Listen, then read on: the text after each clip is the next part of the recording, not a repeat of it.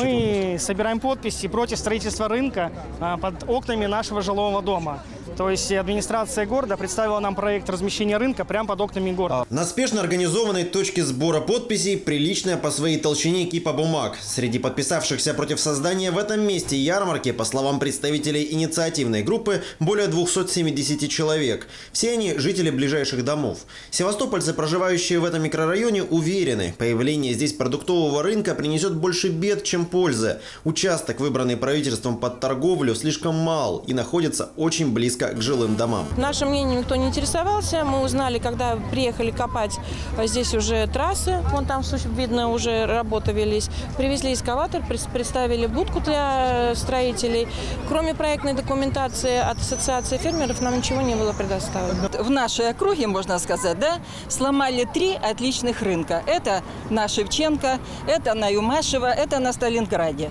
И что они собираются? Вот это э, заменить вот этим вот кусочком а вот сейчас конец рабочего дня. Вот вы посмотрите, как загружен перекресток. Вот представьте, насчет строительства. Они приедут 6, начинают грузить. В это время люди едут на работу. В это время где-то горит. В это время скоро мчится. Перекресток невозможно загружен. Вопрос на контроль сразу взяли представители Севастопольского штаба УНФ. Еще в конце мая они поддержали позицию горожан о необходимости создания на этом месте парковки, а не ярмарки. Мы написали сразу же письмо губернатору с просьбой приостановить выполнения распоряжения по организации ярмарки и договорились о встрече а, с руководителем управления потребительского рынка Вадимом Михайловичем Кирпичниковым. На встречу с Вадимом Кирпичниковым пришли десятки людей. Всех беспокоил один вопрос. Какой будет дальнейшая судьба этой территории? Долгожданный ответ вызвал аплодисменты.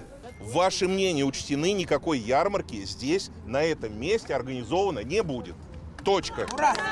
Я считаю, что это очень хорошее достижение, и я хочу сказать, что это достижение произошло именно благодаря тому, что жители тут дружно вышли все.